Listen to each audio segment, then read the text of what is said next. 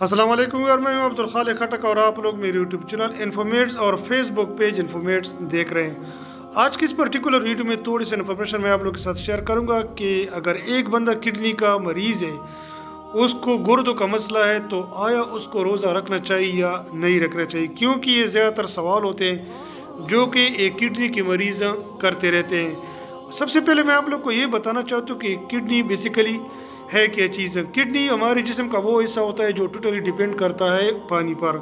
अगर हमारी किडनी को गुर्दों को पानी नहीं मिलता है तो वो किडनी फेलोर का शिकार हो सकता है। एक नॉर्मल इंसान को कम अज़ कम बारह से लेकर बीस गिलास तक पानी ज़रूर पीने चाहिए। अगर इस तरह पानी नहीं पिएगा तो किडनी फेलोर का शिकार हो सकता है। अब सवाल ये पैदा होता है कि एक रोज़े में तो कम अज़ कम नौ दस घंटे या बारह घंटे तक रोज़ा होता है। और इन 10-12 घंटों में मुसलसल एक मरीज़ को अगर पानी नहीं मिलता है और वो भी एक महीने तक तो इस सूरत हाल में क्या मरीज़ के किडनी को कोई इशू हो सकता है कि नहीं हो सकता है?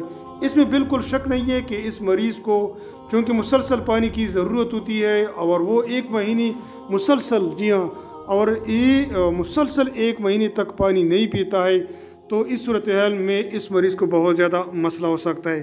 अब ये सवाल ये है कि बंदा करे तो क्या करे?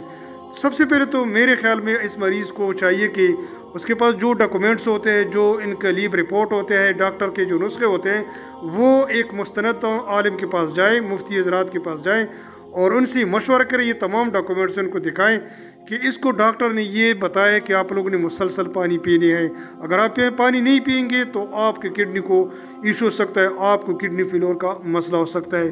तो मेरे ख्याल में मरीज़ को पानी पीने के साथ साथ हम मौलाना मौलाना हजरात से भी मशवरा ज़रूर करना चाहिए, क्योंकि एक तरफ़ इसकी किडनी का मसला होता है, दूसरी तरफ़ रोज़ा जो हमारे इस्लाम में एक बहुत अहम रुकन है और हर मुसलमान पर फ़र्ज़ भी है, उसको भी बचा लाना चाहिए। उम्मीद करता हूँ कि वीडियो आप लोग को पसंद आएगी। शुक्रिया।